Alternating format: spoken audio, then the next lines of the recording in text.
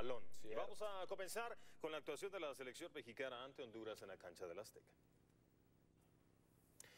La selección mexicana de fútbol recibía este viernes a Honduras en la cancha del Estadio Azteca y lo hacía con el agua hasta el cuello. A cuatro jornadas de terminar el hexagonal rumbo a Brasil, México había obtenido oxígeno provisto de una buena actuación en un partido amistoso ante Costa de Marfil. La atmósfera ganadora estaba creada, naturalizados, estadio lleno y optimismo total. Aztecaso, impensable. México no ha podido ganar en el Azteca.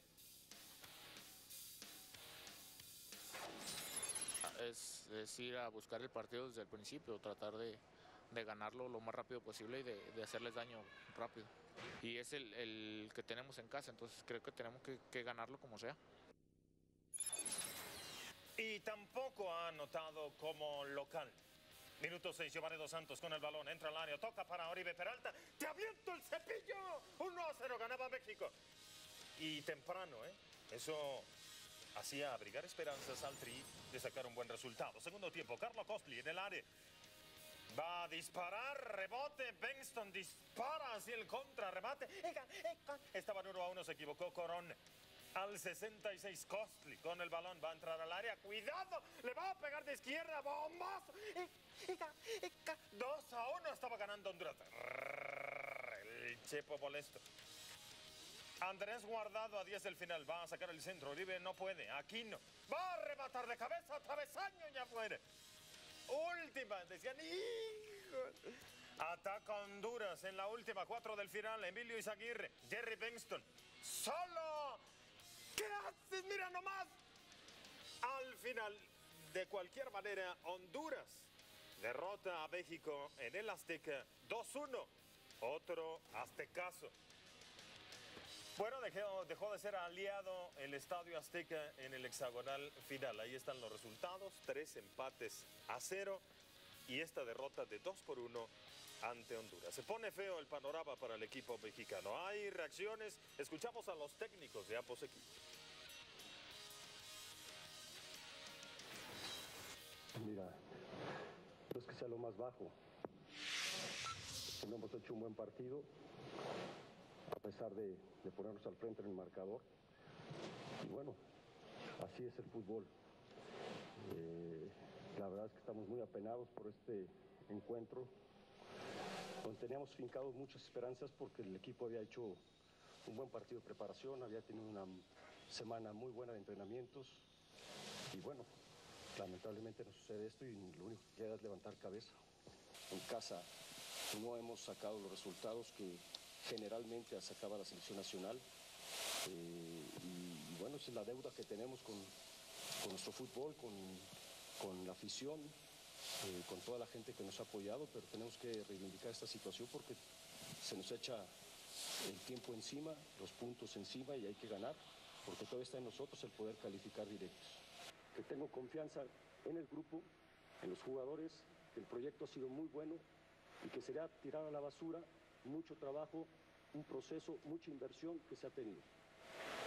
Si yo me diera cuenta que los jugadores no están comprometidos, que no están avergonzados, que por supuesto que les duele muchísimo, a ellos, a sus familias, a toda la gente que está alrededor, entonces sí, ya saben que no, no se puede.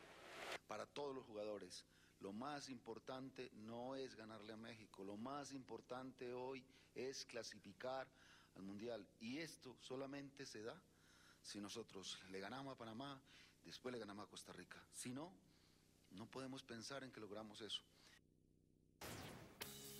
A pesar de la situación que vive el Tri en la eliminatoria rumbo a Brasil 2014, todavía conserva marca positiva este año con seis victorias, siete empates y cinco derrotas. La diferencia de goles total es de más cuatro. Escuchamos ahora al Chicharito Hernández. No, es muy grande.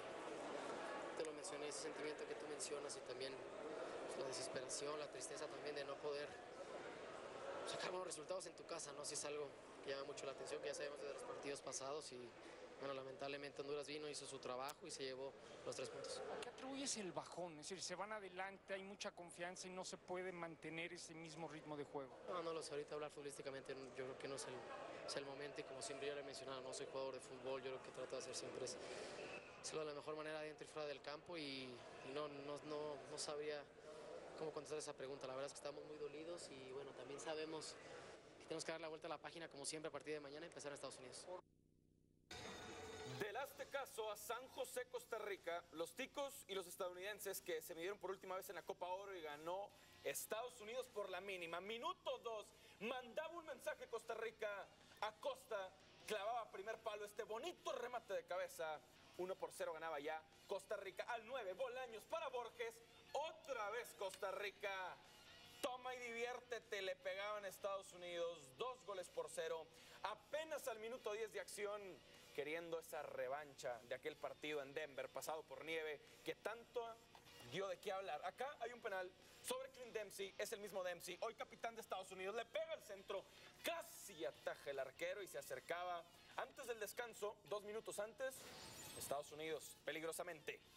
Y de pronto Campbell al espacio y definiendo ante la salida del arquero estadounidense, Costa Rica 3, Estados Unidos 1. Gran resultado para los ticos en casa reviven y siguen dentro de lo más alto del hexagonal final de la CONCACAF. Ellos sí pisando bastante fuerte en el otro de los partidos del hexagonal. Panamá empató a ceros en casa contra Jamaica. Los visitantes finalizaron con un hombre menos debido a la expulsión de Rolf Austin al minuto 58. Hay reacciones desde territorio tico. Este, merecía porque creo que el equipo ha, ha luchado los 90 minutos para eso y, y no creo que, que ahora vamos a, a, estar conscientes de que ya estamos a un paso del Mundial. Sí, hoy el apoyo de la gente se sintió desde, el, desde, el, desde la hora antes del partido. Creo que eso nos ayudó mucho a, a, a la entrada en calor y, y, a, y a cómo empezó el partido. Bueno, estamos muy agradecidos con Dios porque creo que nos salió un partido importante. Eh, la clave siento que todos estuvimos concentrados, no perdimos este, la cabeza en ningún momento. Sabíamos que, que queríamos ganar, que queríamos este, demostrar que, que, en condiciones podemos jugar y podemos ganar partidos. Bueno, ahora hay que mantener la calma, hay que estar felices por la victoria, pero no hemos conseguido nada todavía. En Jamaica creo que los compañeros que, que estén ahí van a hacer las cosas de la mejor manera, todos queremos ganar. Eh, me pierdo el partido, me hubiera gustado estar, pero eh, hay otro compañero que puede hacer las cosas bien también y lo vamos a apoyar. La selección mexicana de fútbol ha tocado fondo, cayeron ante Honduras en el Azteca y ya no es suficiente simplemente con la aceptación de la enfermedad. Damos paso al análisis de nuestros compañeros en el Azteca. Adelante, Álvaro.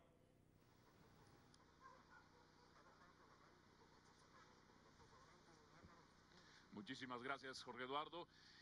José Manuel Chepo de la Torre se trazó metas y objetivos históricos y lo está consiguiendo, pero de manera negativa. Por segunda vez en la historia de las eliminatorias mundialistas, México en el Estadio Azteca pierde. Se vuelve a dar y abrir otro capítulo del Aztecaso, una palabra que parecía borrada desde hace mucho tiempo. Y al igual que Enrique Mesa, José Manuel de la Torre, un técnico que tuvo buen éxito y buenos resultados como director técnico de club, pero que en selección mexicana no se están dando los resultados. Dice, así es el fútbol, pero también, y le pregunto a nuestros compañeros que están en la mesa, Roberto Gómez Junco y Luis Roberto Alves Sague, si así es el fútbol, en el fútbol, en este negocio, no es común dar un paso al costado cuando el enfermo está en el estado más crítico. Claro, y quizá debió darse, Álvaro, desde que se fracasa en la Copa Oro, porque ese fracaso es rotundo, es también imperdonable, un fracaso que por sí mismo debió eh, provocar, propiciar la interrupción de este proyecto, de este proceso. Yo, la de hoy, la del segundo tiempo, es la actuación más vergonzosa que he visto de una selección mexicana en 30 años, tranquilamente. Y se habla mucho de que los hondureños en la, segunda parte adelantan líneas. La realidad es que el equipo mexicano las retrasó. Un equipo timorato, temeroso, que confirmó todo eso que ha dejado de hacer durante tanto tiempo. Y eso te lo cobra el fútbol. Tenía un adversario más que propicio, un adversario espantado en el inicio, un adversario al que desde el primer tiempo, después de que le anotas muy pronto, se veía que le podías anotar el segundo y el tercero. Lo fueron perdonando, entra el segundo tiempo, sí reaccionan los hondureños, modifican y viene cada vez un equipo mexicano más preocupado por cuidar el golecito que por buscar el segundo, cuando pocas veces se había visto tan allanado el camino como para buscar ese segundo y ese tercer gol. Lamentablemente se mantiene José Manuel de la Torre, no muestra la más elemental dignidad y yo pienso que más arriba, ante la incapacidad para tomar una decisión por razones estrictamente futbolísticas, quizá alguien se decida a tomarla por razones económicas, pensando en todo lo que perdería la selección mexicana en caso de no ir a una Copa del Mundo. Luis Roberto es lo peor que has visto de la selección mexicana cuando otros técnicos con un poquito más de puntos incluso han dado un paso al costado o les han cortado el cuello, metafóricamente hablando, por supuesto. Sí, la verdad sí, Álvaro. Creo que siempre se ha dicho, ¿no? Lo que mal empieza tiene la tendencia a acabar mal. Y creo que se nos olvida muy fácil el partido contra Jamaica, el primer partido de esas eliminatorias, que realmente ya fue un, un, un un, este, una actuación muy desastrosa por parte de la selección, sobre todo tomando en cuenta su historial aquí en el Estadio Azteca. De ahí para acá las cosas no se han dado, es una selección que no tiene un sustento futbolístico de forma colectiva, que apuesta por las individualidades de los jugadores, que tal vez algunos te pueden dar de repente, pero a final de cuentas es muy poco para que una selección pueda llegar a, a calificar de manera tan este, tranquila o determinante o con un golpe de autoridad como siempre estábamos acostumbrados con la selección mexicana. Realmente creo que el Chepo da la sensación que la cosa ya le está quedando muy grande, el paquete ya le quedó muy grande, eh, se aferra a un proyecto, un proyecto que según él es muy bonito, es muy este, profesional, pero estamos corriendo riesgo de estar afuera de un mundial.